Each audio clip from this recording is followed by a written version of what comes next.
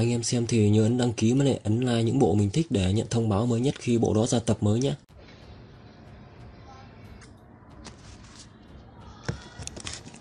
Ngọc Nhứ, hôm nay ta nhất định là phải giết người. Hại chết cha mẹ của ta. Lại còn để cho ta gọi ngươi là sư phụ mười mấy năm. Đúng thật là đúng thật là không bằng cầm thú. Là đạp thiên thất bộ.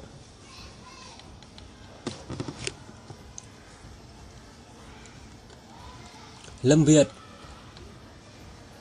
Đến lúc ngươi phải trả nợ rồi.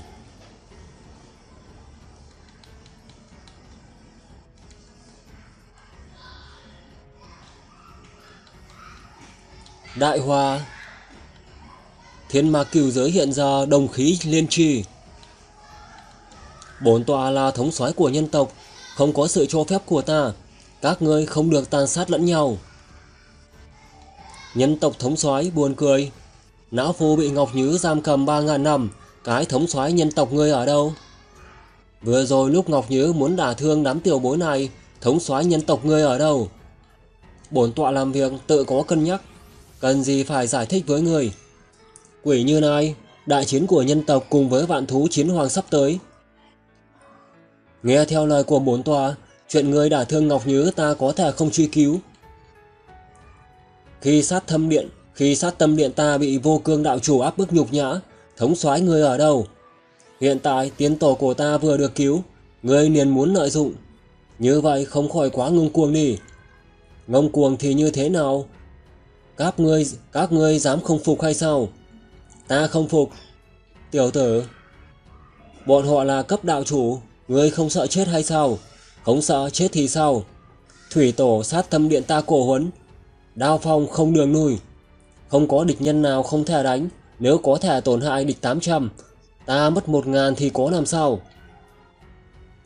Người này hôm nay không chết, ngày sau thành tựu tất sẽ vượt qua sát tâm Phật gia. Đúng vậy, có tư chất tuyệt thế đao phong. Đao phong không đường nuôi, nói hay lắm. Có hậu duệ như ngươi, não phu cũng có thể nhắm mắt. Giữ mạng sống của các người, đi mau. Không biết tự lượng sức. Tiểu tử, hôm nay ngươi phải chết. Lâm Huynh đi mau. Hôm nay ngươi không đi được. Mau giao ra đế bảo, lão phu lưu cho ngươi toàn thầy. Chết tiệt! Ân oán giữa quỷ đế và lâm viên. Ngươi đừng nhúng tay vào thương linh đạo chủ. Tránh đường. Ta sẽ không để ngươi qua.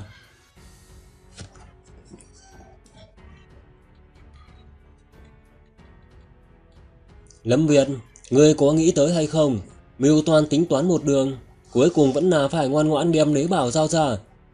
Quỷ đế, ngươi dễ dàng tới gần ta như vậy, ngươi không nghĩ đó là một cái bẫy hay sao? Ngươi đừng, ngươi đừng dọa ta. Thiên mạc đạo chủ tề tụ ở đây. Loại cục diện này nếu ngươi cũng có thể khống chế, não phô có chết cũng sẽ không tin. Yên tâm đi, tin hay không, hôm nay ngươi đều phải chết.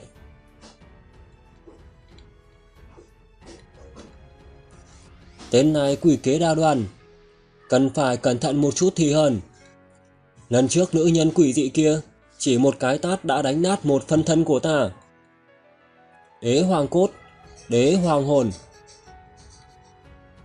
Đế hoàng cầu. Đế hoàng huyết. Thần vật, Đây là khí tức của thần vật. Hắn lại có được thần vật. Dùng.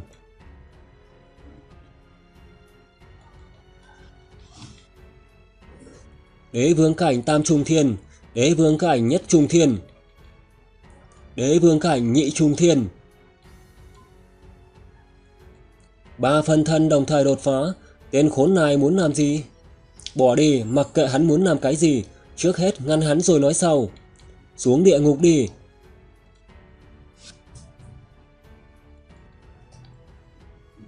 Quỷ đế, ngươi không ngăn cản được ta. Tam nguyên hợp nhất.